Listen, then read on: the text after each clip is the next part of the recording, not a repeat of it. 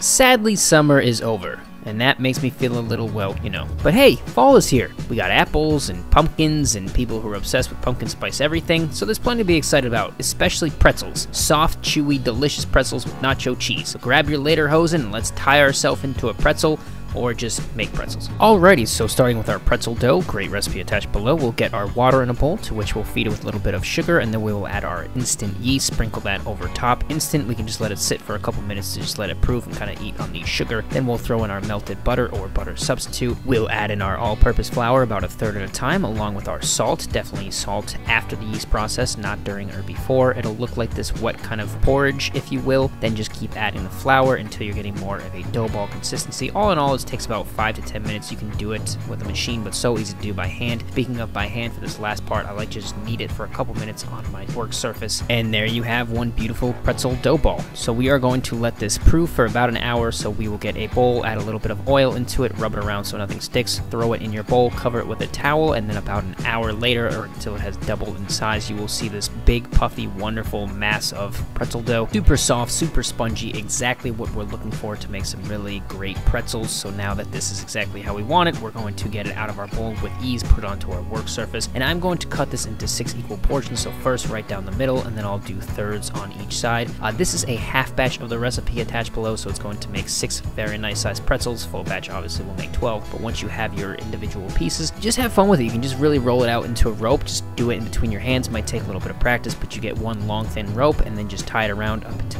the U shape and over on itself. You can use your fingers to kind of create those holes and then just put a little bit of pressure where you want to attach them. And this dough is so perfect for this that it really just kind of makes it so easy. And there you have a really nice pretzel. It doesn't have to be perfect. We'll run through this again. Roll it out into a nice thin rope, get your U shape, fold it back on over to itself, and there you go. Make it a nice pretzel. It doesn't have to be perfect. Make it perfect for you once you have them all shaped. I like to just put them on a sheet pan with some parchment so they don't stick and transfer them over to their jacuzzi of sorts. And this is what really makes a pretzel a pretzel. You want to get some nice boiling water. Make sure that there is plenty of room for our pretzels. And now we're going to add in our baking soda. This is what's going to give it the crust that we want for a signature pretzel. Add it in slowly or else you're going to have a science experiment, kind of like a volcano. Give it a quick stir to dissolve the baking soda and it will look normal again. Then we'll drop in our pretzels one at a time. You could do more, uh, but I'm just doing one at a time just to really show you how the process works. 30 seconds is all we want. You can see it puffs up really nicely. It's still super soft and has a unique texture. We'll do this one more time. Again, just 30 seconds is all you need. Any longer than that, it may develop a metallic taste. Super and easy to do, but a very, very important step to give us a really nice crust. So now that all these bad boys have had a chance to soak within the baking soda bath, we are going to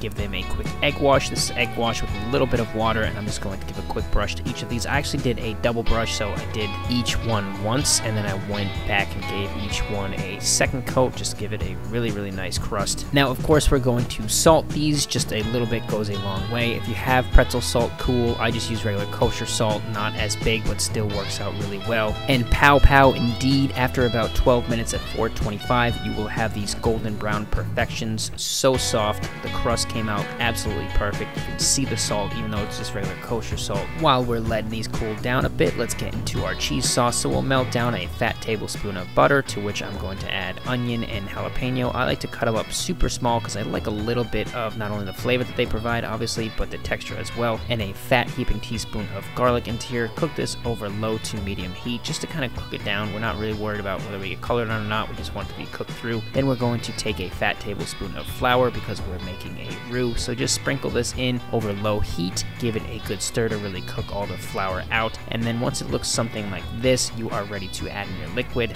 Our liquid in this case is going to be milk. Almost any variety will work, and this is about a cup and a half. So now you just want to whisk that in there. Again, this is all over low heat. We just really kind of want to scrape the flour off the bottom and, and get it off of the vegetables a little bit so it really incorporates with the milk and really thickens up our sauce. Now we're going to add in our cheese. I have cheddar on the left, pepper jack on the right. You can use whatever cheese you want. I just really like those for my cheese sauces. Again, over low heat, we're going to just slowly sprinkle in our cheese. Definitely start really slow in the beginning, adding little bits at a time, but as you go on, you can add more and more. It will really thicken up, not only from the roux, but from the actual cheese melting into it itself. The finer you grate the cheese, uh, the better it's going to be for this, and I definitely recommend grating the cheese yourself, and you will have this wonderful cheese sauce. If you want it perfectly smooth, you could strain it at this point, but this is exactly how I want it. Season it with salt and pepper, and I recommend serving it while it is nice and hot and liquid gold to perfectly complement these chewy, wonderfully crusty pretzels. It really is amazing how you can develop this super nice crust in such a short amount of time, and I can't wait to dive into these bad boys. They are big, they are fluffy, they are soft, and my favorite part about these is when you tear them away, I mean, just look at the texture that these have. So soft, so chewy. Developing that kind of texture in such a short amount of time is really amazing. They really taste absolutely phenomenal. They smell incredible. The only thing that can make them better is this hot cheese sauce, so I'm gonna get to tearing and ripping away and dunking these bad boys. I mean, this is like being in mall pretzel heaven